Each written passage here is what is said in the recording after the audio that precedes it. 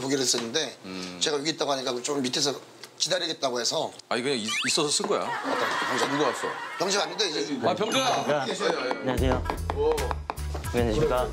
뭐, 새해 복 많이 받으세요. 진짜 네, 새해 복 병재도 많이 받고 새우도 많이 받고 내가 새해 복 많이 받 올해도 그냥 네, 그렇게 잘 지내자. 좀 무탈하게 저희가 또 어, 무탈하게 무탈하게. 무탈하게 또 어? 어? 무탈하게 또 어? 어?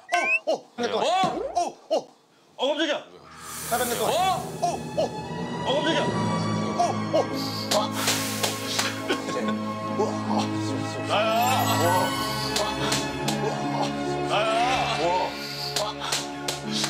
내가 되게 역사적인 자리에 있었는데. 네 예상을 했어. 네 예상을 했어. 뭘 대해서 그래? 일로 와 여기 앉아. 저희 이제 야, 병재 오랜만이야. 형님 형님 복 많이 야 여기 야, 주세요. 야, 가 가. 큰 싸움 날 수 있다 그래라. 대표하다고 하겠습니다 형님. 하겠습니다 오늘 재밌는 자가였구나. 오라면 여기 앉아 여기. 아, 가방 먹는 거야. 어, 우리 이렇게 살이 쪘어. 어? 살이 찐 거, 살찐 거 같지 않아? 좀 쪘어. 오늘 먹은 거. 어우, 좀 쪘어. 먹은 거.